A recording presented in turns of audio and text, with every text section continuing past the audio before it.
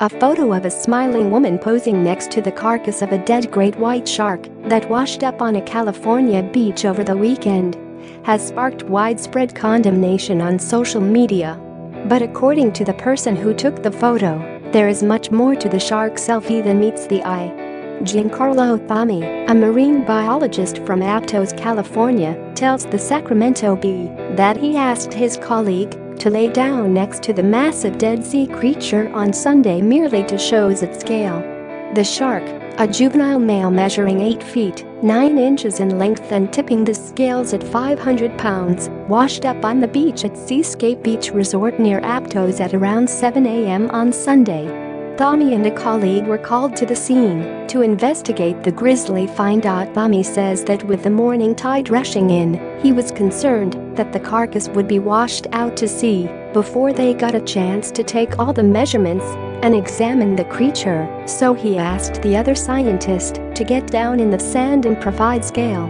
The image shows the bespectacled woman smiling and laying on her stomach next to the bloodied sea beast. When the local TV station KSBW later shared Thomae's snapshot on its Facebook page, many users expressed dismay at the selfie. This could not be more messed up, one critic fumed. A dead shark is not a photo op. Another user lashed out, saying, this was once a living being, and it's just okay to lay next to it smiling. Share this article Share a third commenter slammed the photo as creepy and disrespectful.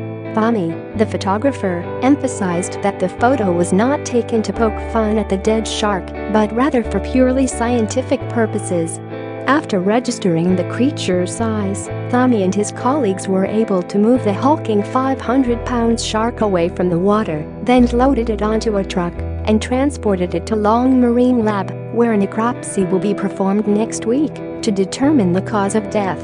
The deceased great white was covered in old scars and fresh puncture wounds from its encounters with sea lions, but Thomae does not believe those superficial injuries caused the animal's death.